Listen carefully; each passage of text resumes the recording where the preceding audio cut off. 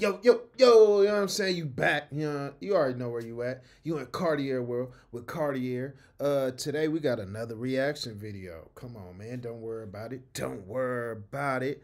Uh, you know what I'm saying? I need y'all to like, comment, subscribe, all that good shit. Uh man, as you can see, we got Diddy on here. You know what I'm saying? Diddy begs for mercy after the fourth lawsuit, you know. 50 Cent exposes Rick Ross and, and Diddy freak offs. You know what I'm saying? That shit sound a little little spicy. You know what I'm saying? A little little spicy shit going on. But you know, we, already know like Diddy been having them spicy allegations and all that. Uh shit, man, y'all really, you know, y'all really let me know what y'all think in the comments. we gonna really see what's going on, what's what's been happening you know, we really logging in. I, I know it's been a lot of crazy accusations on Diddy. You know what I'm saying? Y'all let me know if they true or not. Is it fake? Is it real? Yeah, man. Let's let's tap in. There's nobody else to look at, nobody else to blame, nobody that could really fix it. This latest lawsuit alleges the music mogul gang a woman 20 years ago God when she was damn. only 17.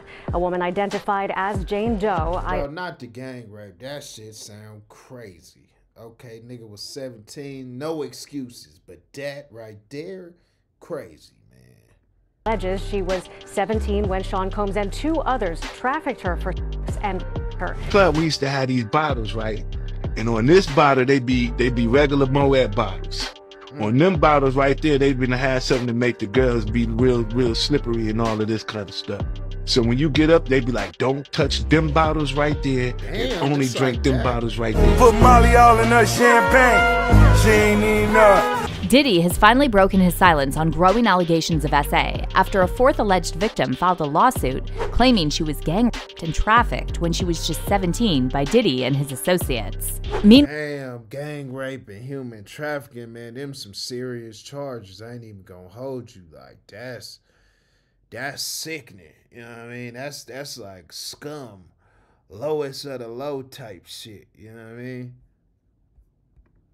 50 Cent confirmed that all the proceeds from his upcoming documentary on Diddy will be donated to benefit victims of SA. And he also implicated Diddy's close friend, Rick Ross, suggesting that Ross needs to be investigated too.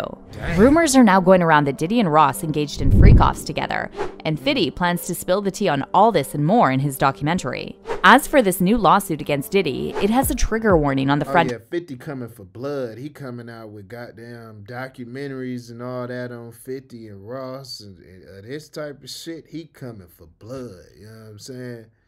Shit, Diddy should have should have sold that nigga revolt, man. I don't even know. This shit kind of crazy just like Cassie's. The details are extremely disturbing, and the lawsuit even includes photos of Diddy with his alleged victim.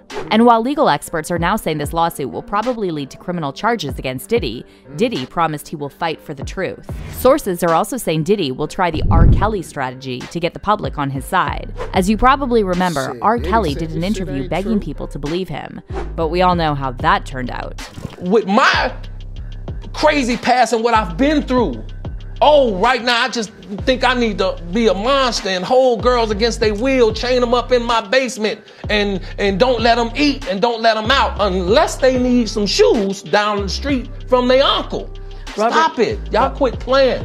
Quit playing. Robert. I didn't do this stuff. This is not me. Y'all, I'm fighting for my life. This shit was a classic. Y'all killing me with this. I gave y'all 30 years of my career. Robert. 30 years of my career! Y'all oh. trying to kill me! Oh. You're killing me, man! This is not about music! I'm trying to have a relationship with my kids, and I can't do it! Y'all just don't want to believe the truth! You don't want to believe it! At this point, we briefly pause the interview to give Kelly a moment. His publicist helped calm him down. I hope this camera keep going. No, we're gonna. This is not true. Right, oh. This is not, doesn't even make sense. Why would I hold all these women? So is this the end for Diddy? And will 50 Cent end up exposing Rick Ross and all the others who allegedly enabled Diddy's crimes? Let's break it down. It all falls on you. Nobody else. Have your feeling, it's you. Whatever situation you're in and you're letting yourself be in, it's you. Diddy is facing another disturbing SA lawsuit, and the alleged victim claims she was just 17 when Diddy and Harve Pierre, the president of Bad Boy Entertainment, drugged, essayed, and trafficked her across state lines. The woman used the same lawyer Cassie did, Douglas Wigdor, a high profile attorney who won numerous multi million dollar verdicts and helped take down Harvey Weinstein and many other powerful men who were found guilty of SA.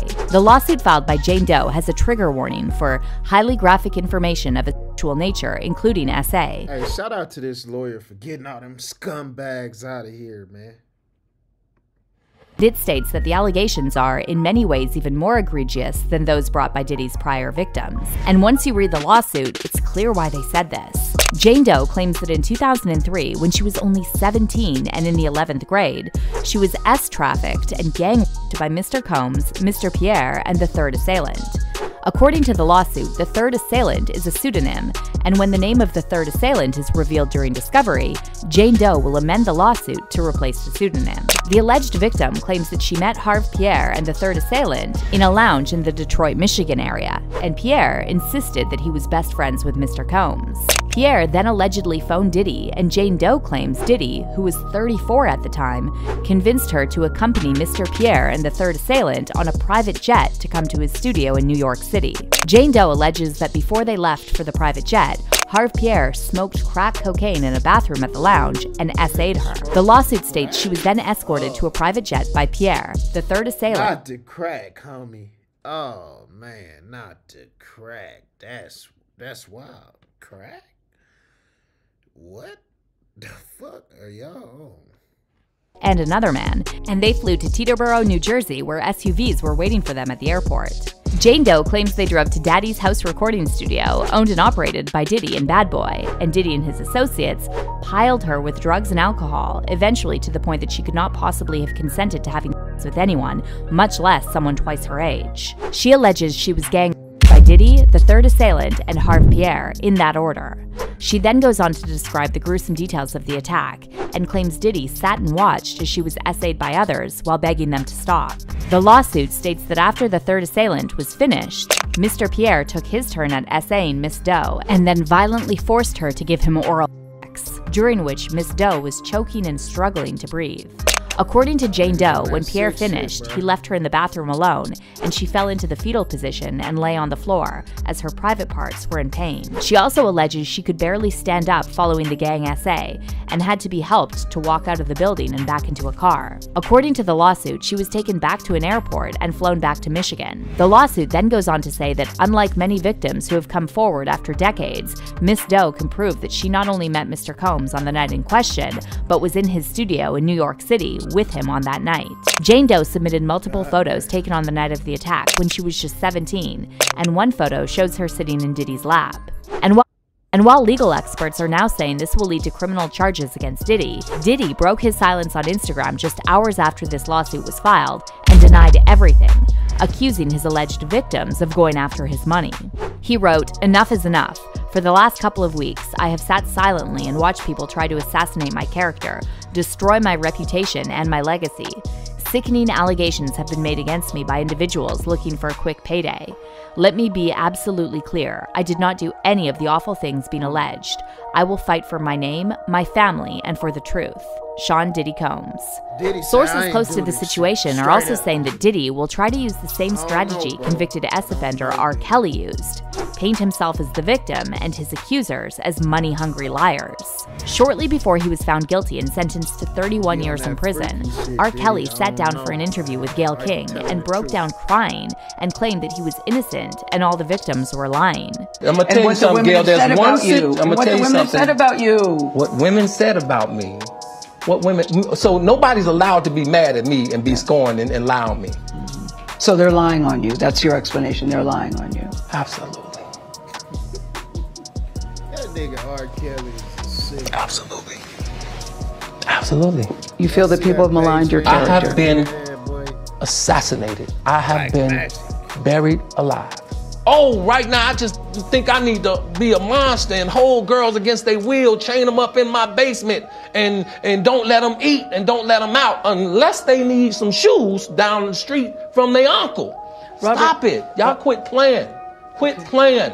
Robert. I didn't do this stuff. This is not me. Y'all, I'm fighting for my life. Y'all killing me with this. I gave y'all 30 years of my career. Robert. 30 years of my career.